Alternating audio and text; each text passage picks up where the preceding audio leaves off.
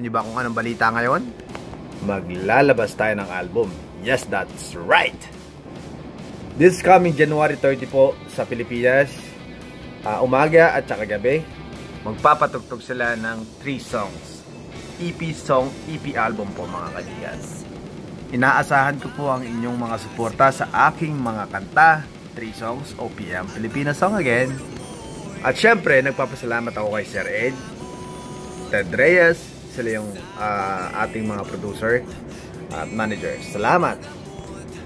Ililink ko po yung uh, page nila sa baba, yung uh, uh, Facebook ng radio station, which is Light FM Marbeles, 100.9.